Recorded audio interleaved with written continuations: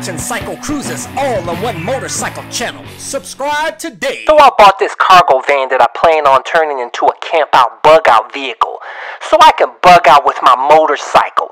You are watching my bug out van build series. Hey, be sure to check out my bug out van build series. Video links are in the description section of this video. Okay, so my portable shower crapped out on me. It must have sucked dry air and the pump died on me. So I had to figure out another solution. So I picked up this little 12 volt water pump and what's great about this pump is that it draws very little power and also you don't have to worry about it getting damaged if it runs dry.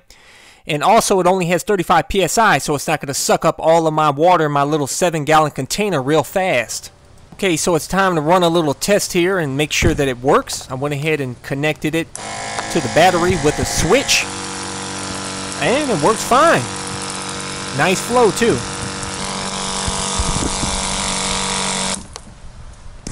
It easily installs underneath the counter and gives me great access to take a shower or to use the faucet.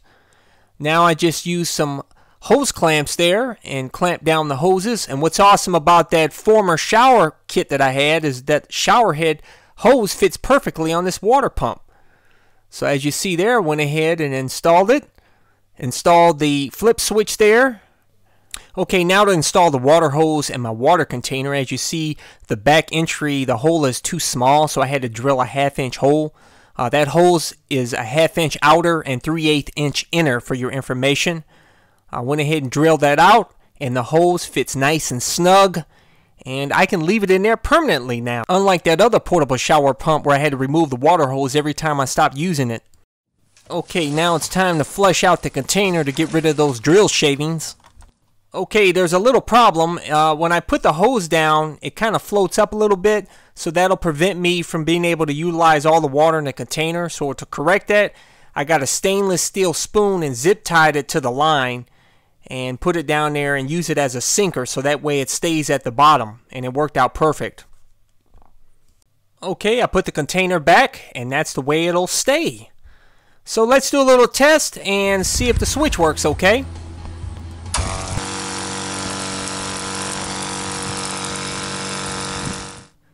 As you can see, this shower head hose extends far out, which is awesome, so that way I can wash my motorcycle as well. This shower head is the only thing great that came out of that shower kit. By the way, I also installed a 12 volt receptacle there for my refrigerator. By the way, I also made a removable faucet that attaches to the sink. I just use a piece of scrap 2x2 and some vinyl tile. And as you see there, it just attaches via power grip pedal tape. And all you need to do is just attach the shower head onto that faucet, flip the switch, bada boom, bada bang.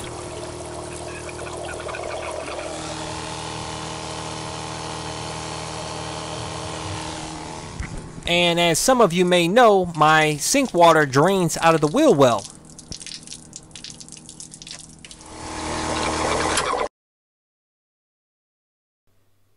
Then when you're done, just close the shower head, shake off the excess, and go ahead and install it on the door.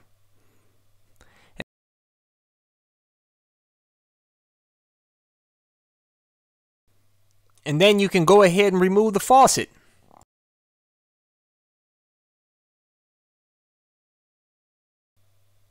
Okay, now you're probably thinking, man, I don't want to shower with cold water. That's where this hot water element comes into play. It's a 12 volt hot water element. All you need to do is just connect it. I hooked it up to a switch uh, so that way that I can switch it on and off anytime I want to. And I use the spigot that came with the water container uh, because it has an open and close valve there. And I just put the wire through there, attach the hot water element, and I can control the depth by that lever there. First off, let's do a little test to make sure it works. Okay, flip the switch. Wow, it heats up really fast. Okay, now just simply screw on the spigot and put the container back, and there you go. Now I have a hot water heater anytime I want to. However, what I might do is I might hook it up to the solar controller because it has uh, a load switch there which you can connect it to and you can actually time it. so that I can heat it like a couple hours a day or however many hours I want to per day. But right now, let's show you my portable shower tent. As you see there, it fits nicely underneath my counter. Just unzip it, pull it out, and pop it open. Literally takes three seconds. Very simple and easy to set up. Bada boom, bada bang. Now you have your own private shower. And it even has hooks there so you can connect it to your vehicle so that way you don't have to worry about it blowing away in the wind. Taking a step inside, it fits me perfectly.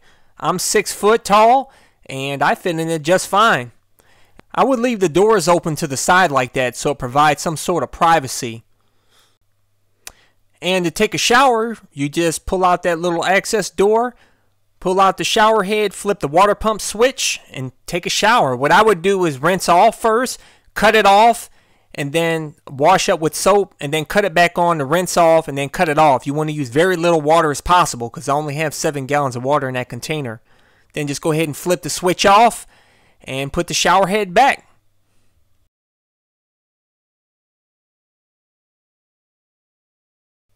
Then you want to go ahead and towel dry yourself. And you can either leave the tent out and let it air dry or go ahead and towel dry it. But it's very easy to take down. It even comes with instructions. It literally takes like three seconds. Then just put it back in its case and put it back underneath the counter.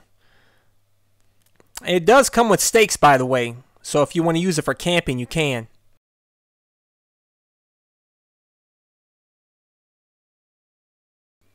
So to recap, there's two ways to wash up in my bug out van. First, the stealth option. You can just attach the faucet to the sink, attach the shower head to the faucet, close the sink drain because you don't want the water to drain out the wheel well. Flip the switch to turn the water on, wash up at the sink, and then when you get to an inconspicuous area, go ahead and open the drain and let it drain out the wheel well.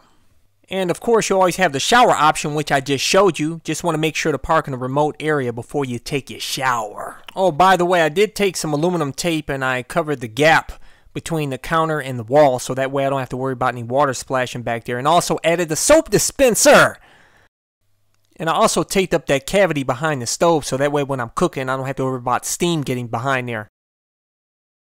Also stay tuned for other videos such as my installation of my Dometic refrigerator and 600 watt microwave along with my 1300 watt induction burner. Yep, no more worrying about burning my bug out van down with a butane stove.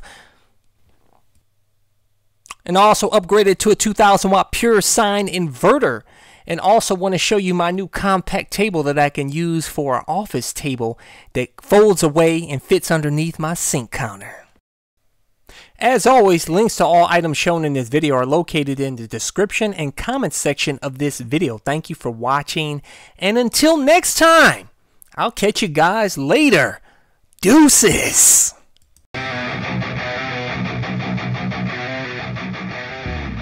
Welcome to CycleCruza's Click to Go links. Just click on the pictures below to go to my recommended videos and my social media sites. Also, don't forget to visit my blog and store at cyclecruza.com.